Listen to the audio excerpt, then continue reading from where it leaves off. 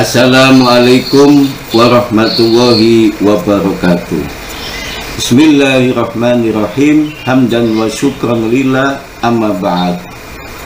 Jamaah Youtube yang dimuliakan Allah subhanahu wa ta'ala Bapak Ibu yang berbahagia Salam sehat, salam bahagia.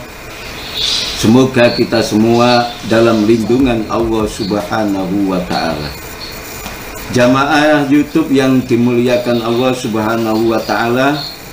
Pada kesempatan yang berbahagia ini kita masih dalam pembahasan Google Classroom di channel Wak Kaji Sodik. Tonton terus videonya dan jangan skip ya. Yang mana pada kesempatan ini kita akan membahas pada bagian yang kelima yaitu bagaimana cara membuat materi di Google Classroom. Membuat materi di Google Classroom ini sangat mudah sekali kalau kita lakukan.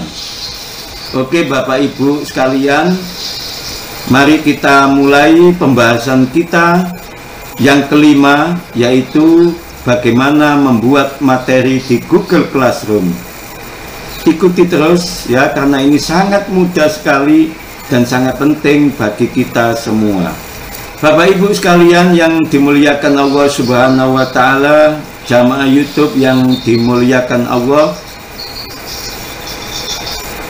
Pembahasan kita saat ini adalah bagaimana membuat materi di Google Classroom. Bapak Ibu sekalian, di kolom atas ini, di bagian atas ini ini ada tanda forum, ada tanda tugas kelas, ada anggota, dan ada nilai.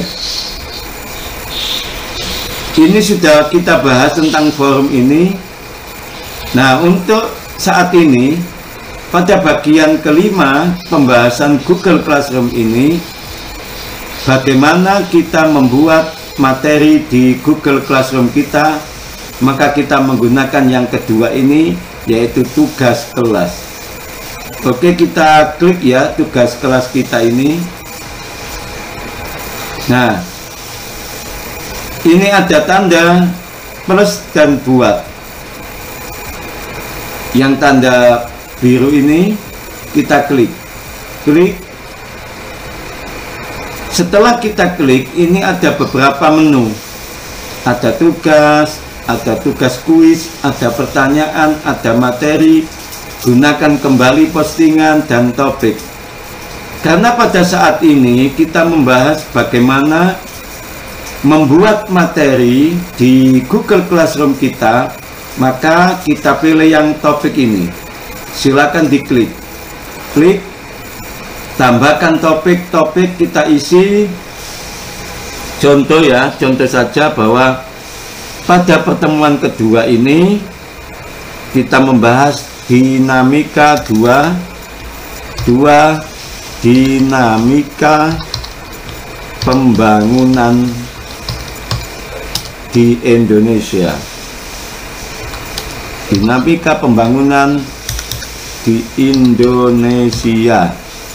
Setelah kita menuliskan topik kita setelah kita memberikan topik kita maka kita klik yang ini tambahkan kita tunggu dulu.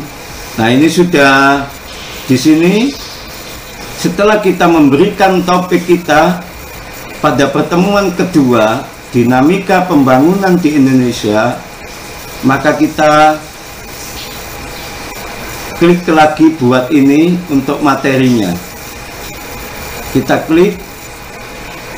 Kemudian di sini menu-menu yang ada di bawah ini kita klik yang materi ini. Kita klik. Kemudian kita berikan judul di sini. Dinamika. Dinamika pembangunan di Indonesia. Bapak Ibu sekalian yang dimuliakan Allah, jamaah YouTube yang dicintai Allah. Kemudian di deskripsi ini silakan diketik. Contoh saja.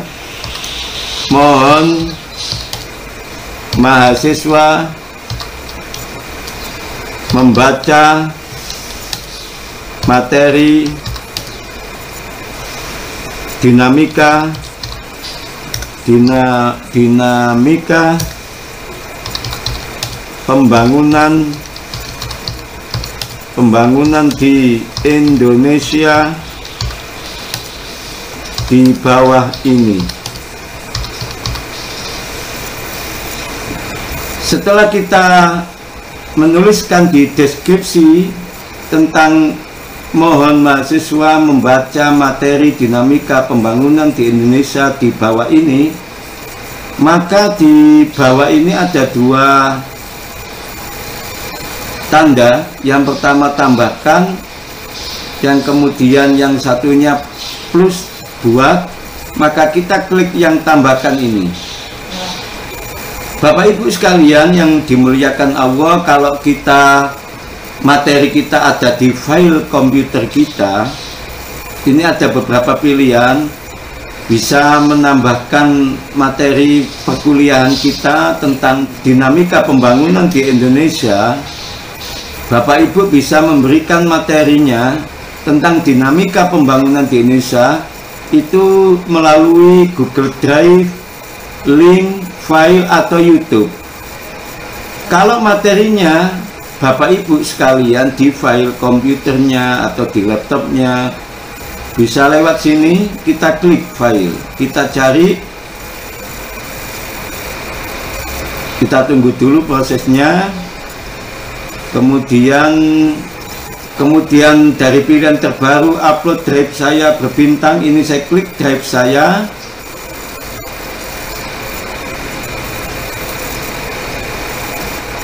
Terus kita klik. Saya cari materinya di dokumen ini. Nah ini materinya dinamika pembangunan wilayah. Saya klik kemudian open kita tunggu prosesnya. Nah ini sudah masuk materi dinamika pembangunan dalam bentuk filenya. Kalau kita sudah kalau kita punya materi dinamika pembangunan di Indonesia di YouTube, maka bisa kita share YouTube-nya pembelajaran kita tentang dinamika pembangunan di Indonesia. Contoh kita klik ya. Kita klik kemudian kita menuju ke sini kita tuliskan dinamika pembangunan di Indonesia. Pak Kaji Sodik TV supaya memudahkan pencarian saya kita klik ini kita tunggu. Nah ini ada muncul dinamika pembangunan di Indonesia. Kuliah online sosiologi pembangunan. Kita klik. Kemudian setelah ada tanda biru ini kita tambahkan yang di bawah ini. Kita klik tambahkan.